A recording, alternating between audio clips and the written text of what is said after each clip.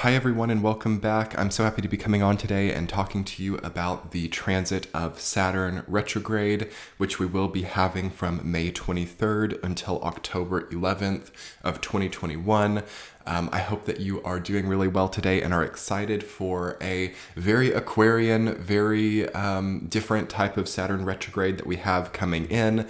This will, of course, be um, not Saturn's very first retrograde in Aquarius, but its first uh, retrograde in middle degrees of Aquarius. Okay, so as I'm coming on to you today, Saturn is indeed at 13 degrees of Aquarius, and it's going to be retrograding back to 6 degrees. Um, last time that Saturn went retrograde, it was after it had just gotten into Aquarius and it retrograded back into Capricorn. Um, so this is really our first Saturn retrograde uh, where Saturn is in Aquarius the whole time. So it's going to have a different tone than previous Saturn retrogrades. Um, if you guys want to check out previous Saturn retrograde videos that I've done to get more hindsight on the momentum of this transit, I'll link those below and in the top right hand corner. Okay. Um, and before we get into it, I have a lot of uh, really cool videos going up at the end of this month. Uh, be sure to hit the subscribe button and turn those bell notifications on. Um, and of course, you might be watching this video at any time throughout the duration of this transit or later, in which case, uh, thank you so much for your likes, comments, and subscribes. Okay. Um, so getting straight into it, we're moving kind of fast today because we've got a lot of content to um, get out for the end of May as the end of May of 2021 is really changing the game. It's really asking us some very poignant questions. It's really testing us to see if what we have committed to is what we actually want. We have a bit of an opportunity here over the next few months uh, really up until the end of 2021 as Jupiter and Saturn both retrograde in an interesting type of dance to definitely look at everything that we're putting our uh, momentum behind, everything that we're putting our desire behind, everything that we are fueling and pushing really hard for in life because we feel it represents some type of progress for our soul or progress for our uh, greater potential. Uh, these things are really going to get uh, tested and um, altered or adjusted perhaps in a way that is really evocative more so of what we wanted. Okay, um, so notice I'm using the past tense there, what we wanted.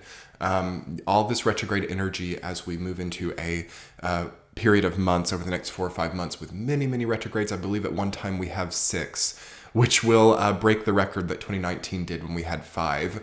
Um, so, yeah, uh, we are having a major reactivation of what we wanted before, of what we committed to before, of what we once desired, uh, coming up to be reforged and made relevant to our present situation.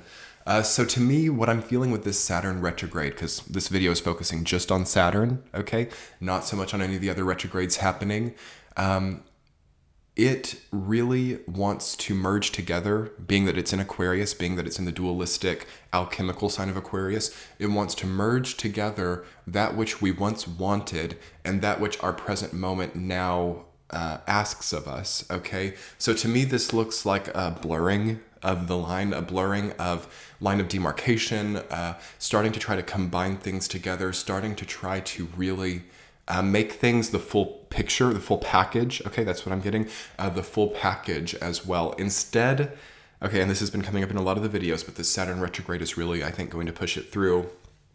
Instead of focusing so much on these individual aspects of our lives, we are getting a comprehensive picture.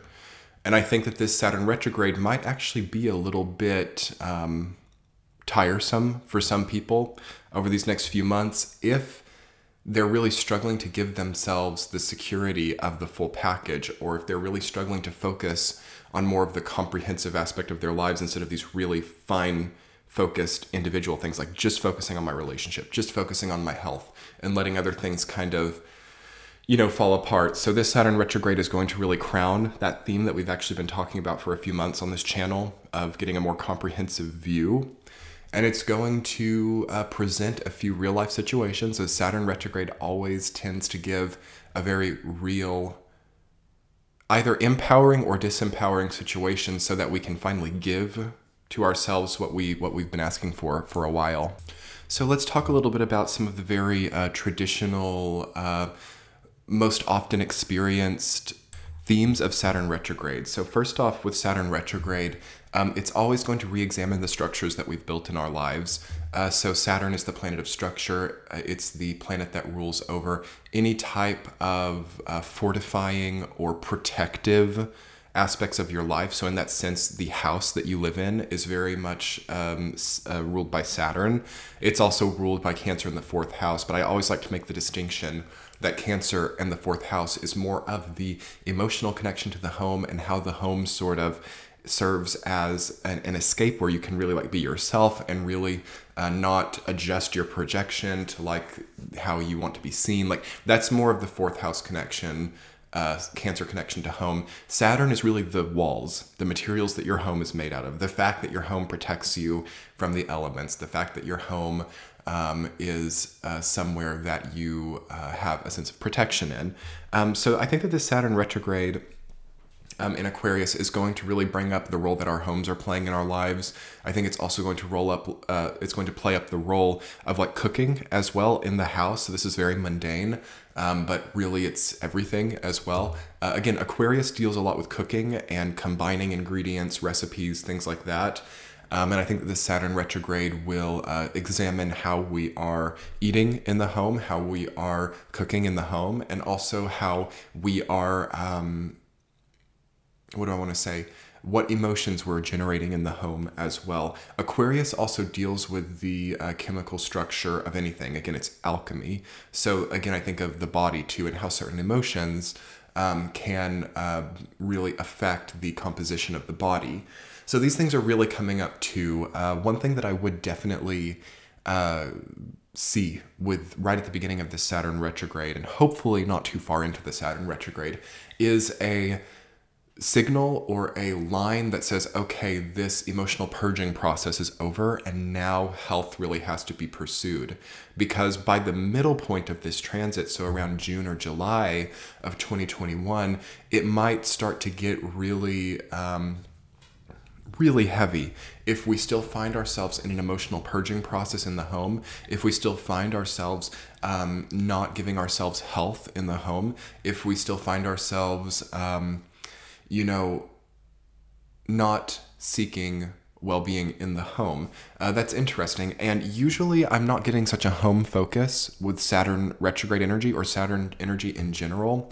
Uh, so I'm thinking that this is probably also uh, being very in effect during Cancer season of this year, as Saturn retrograde is happening during Cancer season. So from about June 21st to July 21st, which so happens to really be the uh, depth point of this retrograde as well. I'm feeling. Um, so we're going to really be asked to look at our homes. We're going to really be asked, I think, by this transit to um, actually have a sense of protection, a sense of safety, a sense of security in the home, which to me does mean that our maybe our standards or our parameters within our homes really go up, and also um, we might just have almost a new code that we're putting ourselves through in the home, like how we uh, maybe schedule our time at home or how our time off is experienced. Things like that are really coming up with this Saturn retrograde. As I feel that maybe some people, um, or maybe culturally, there's been a bit of a destructive. I almost want to say a destructive cultural component that's risen around the home, probably on account of having to be at home so much over the last year. Um, so I think that this Saturn retrograde will focus heavily on that. Um, other things that Saturn retrogrades tend to build up are um, authority relationships as well. So, relationships with parental figures, relationships with um, anyone who has authority uh, in your life. So, this could be landlords, this could be uh, bosses at work, this could be um, whoever you owe something to as well. Um, so, uh, what we owe definitely comes up in this Saturn retrograde, whether that might be like money or time or uh, jobs or or whatever we've kind of signed up for is coming up to really demand the full package. So uh, yes, also if you've been maybe uh, taking on extra jobs or taking on extra things, I'm really feeling that this is super prevalent right now where people are just really maxing out their time, maxing out their workload, putting so many things onto their plate. Um, I think that Saturn retrograde will maybe uh, scrap some things in your life that really aren't helping you to get further ahead or at least further toward your your own potential and purpose. So as I'm starting to get into this video and starting to understand more about this Saturn retrograde, it seems really clear to me that um, minimalism is reaching a new level of positivity in a lot of people's lives. Um, minimizing your output, minimizing your spending, minimizing um, the unnecessary things, trying to waste less food, uh, trying to um, spend less frivolously or acquire things less frivolous, frivolously. It's not always spending, it can just be acquiring. Um, so keep that in mind. This has a lot to do with um, Saturn being an Aquarius. So Aquarius is ruled by Uranus, and before Uranus was discovered, it was ruled by Saturn. So Saturn is good in Aquarius. In that way, this Saturn retrograde is more mundane than. Um, well, actually, it rules Capricorn too. So actually, our Saturn retrograde cycles over about since about December of 2017 have been a little bit more mild. Um, so that that's really nice to know that and, and also knowing that the Saturn retrograde itself might be a little bit more mild. Now, when we look at some of the other retrogrades coming in, um, that may not be so much the case. But basically, as I said, it's just focusing um, frivolity in our life, like what we don't need yet do, what we also emote yet don't need to, like emotional addictions, like needing to have drama in your life to. Um, distract yourself, uh, that which distracts us, that which helps us to escape. We've got Jupiter having moved into Pisces, Neptune in Pisces. A lot of us are taking a lot of um, solace in escapism and in dreams and in, um, you know, sort of dreaming our time away and thinking about what could be if we made certain choices, yet keeping a very distant, distinct uh, reality within that. That's going to be something that Saturn retrograde tries to bring into perspective uh, through showing the fault in that as well. Um, it's not to say that we don't need to dream. It's not to say that we don't need that, as that's a very beautiful, great thing to have. Um, but the time that you spend there and uh, how much time passes between dreaming and then choosing to fulfill that or not is a big thing. The parameter of it, basically, the the um, structure within the dreaming process, within the um, in within the visualizing process that's going to really come up uh, this summer as well. So it's very arbitrary. It's very, uh, and it would be with Saturn in Aquarius. It's very of the mind. It's very of the nervous system. It's very, I would really work on the health of your nervous system with Saturn retrograde in Aquarius. Also, we'll have Mercury retrograde at the same time um, in Gemini, I believe, actually. So the nervous system is going to be regenerating itself and possibly um, finding a new type of stimulus and with that, I think that there will be a lot of uh, nice new discoveries to make over the duration of this Saturn retrograde. And um, if you just want to keep it simple, if you just want to um, dedicate some time over the next few months to finding the more vital central roots, central themes of your life, that seems very effective with this transit. And to basically take those central themes, those central ideas, and build outwards uh, will usually see good good success as long as it's uh, done in a sober and thoughtful way to have the effective advancement that you've been wanting. Um, so I really think that the next few months will really advance us through uh, finishing some things that were untied or undone. And uh, as always, over the next four or five months of Saturn retrograde, if you want to restructure, redo, refortify, or reforge something, there should be many opportunities to do that, as well as many uh, nice turnouts, nice results through fortifying and securing what you already have. So, um, thank you so much, everyone. I hope you enjoyed this shorter video today. If you want to check out anything else relating to the channel, you can look below in the description box. I'm on Patreon, I'm on Twitter, I have a lot of other links below if you wanted to see other content. Thank you so much for your comments, likes, and subscribes. Comment below and let me know if you enjoyed the video and what your thoughts on the oncoming Saturn retrograde are. Talk to you all soon. Much love. Bye.